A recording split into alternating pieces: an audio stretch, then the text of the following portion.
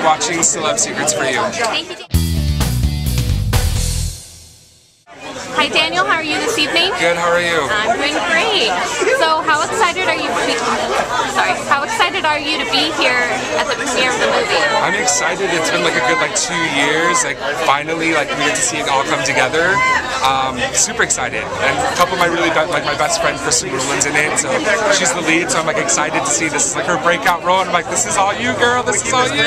That's great. Can you tell us a little bit about your character in the movie? I was one of her friends in the movie, so it's kind of just like basically how it was in the movie, um, how it is in real life. One of her friends. So you know, And I know that you played the Asian Daniel Tosh.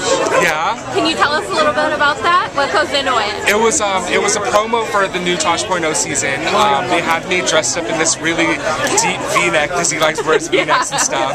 And I had like this man cleavage, and they made me say one of his lines like in there, like um, he says, "And for that we thank you," but like in an Asian accent. So it was kind of cool. That's great. Yeah. Going to celebrate my dad's birthday. Happy birthday, Dad! Um, April 12th. So yeah.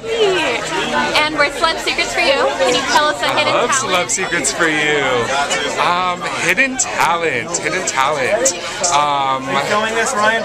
hidden talent. I'm, I, I, I can cook. I'm a good cook, Very good. as you can tell with my body. All right, thank you.